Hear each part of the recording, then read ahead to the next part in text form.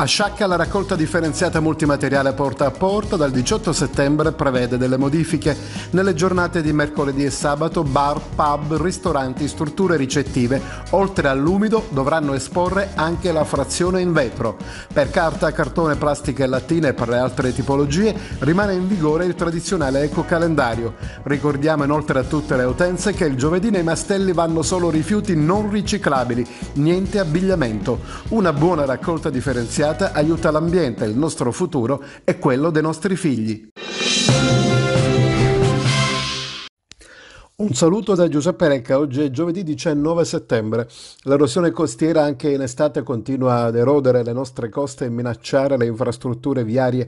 Nei giorni scorsi è stata l'associazione Mare Amico a lanciare l'allarme sul pericolo che c'è ad Agrigento, a San Leone.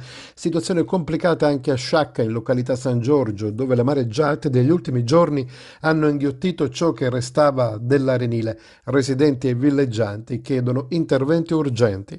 Ultimo giorno di lavoro per il presidente del Tribunale di Agrigento Pietro Maria Falcone. Il magistrato, che di recente ha compiuto 70 anni, va in pensione e lascia così il capoluogo dopo otto anni.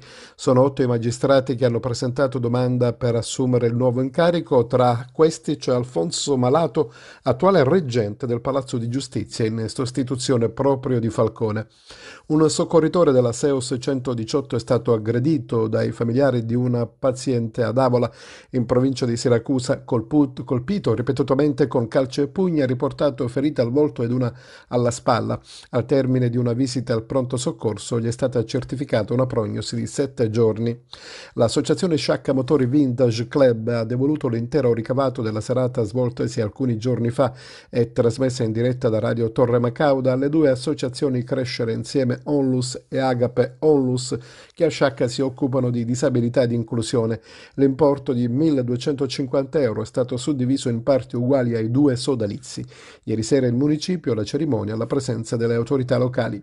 Il comune di Sciacca ha sottoscritto il protocollo d'intesa del Festival della Filosofia Magna Grecia Sicilia Antica Peloponneso Grecia Nord. Il protocollo ha dato il via alla nascita di una rete internazionale di 20 scuole italiane e greche che svilupperà un percorso formativo coinvolgendo enti e istituzioni. A novembre è prevista una grande manifestazione di tutte le scuole a Sciacca.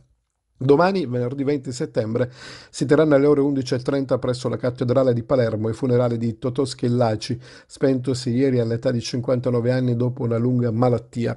Il feretro del calciatore tanto amato dagli italiani si trova nella Camera Ardente dello stadio comunale Renzo Barbera di Palermo, dove si potrà accedere anche nella giornata di oggi fino alle ore 22. Grazie per averci seguito, buona giornata. Potete inviare le vostre segnalazioni al nostro nuovo numero WhatsApp